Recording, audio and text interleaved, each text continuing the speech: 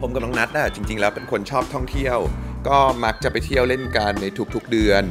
เรามักจะถ่ายรูปเล่น เก็บภาพบรรยากาศ สถานที่อาหาร หรือ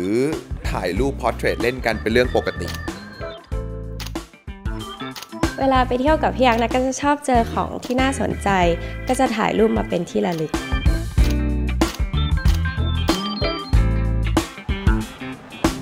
อได้ใช้ Z63 ก็รู้สึกว่าโอกาสได้ภาพมันสูงขึ้น เพราะระบบ iFocus แบบใหม่ แล้วก็ยังมีจอฟลิปรุ่นใหม่ที่ทำให้เราถ่ายรูปมุมใหม่ๆ ได้ง่ายขึ้นแล้วก็สนุกขึ้นอีกด้วย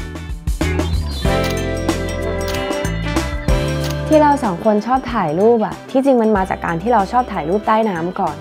เราชอบถ่ายทั้งรูปแมคโครแล้วก็ wide angle เลย แล้วเราก็เดินทางไปทั่วเพื่อถ่ายรูปถ่ายมันเกือบทุกเดือนจนสุดท้ายเราทั้งคู่ก็ได้รางวัล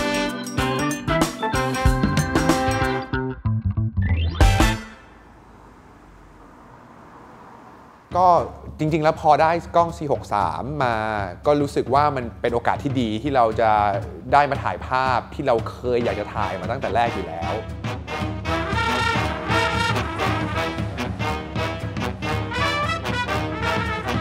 ภาพที่เราอยากได้เนี่ยมันคือภาพที่หมา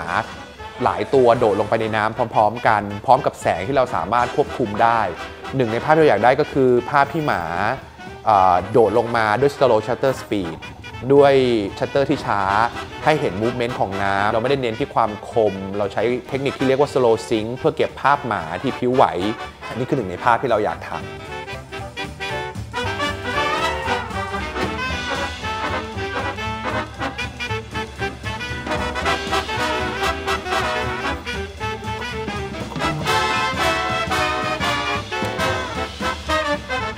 การถ่ายรูปใต้น้ำกับสิ่งมีชีวิตหลายชีวิต มันคาดเดาได้ยากและวุ่นวายมาก แต่สุดท้ายเราก็ได้รูปที่เราอยากจะได้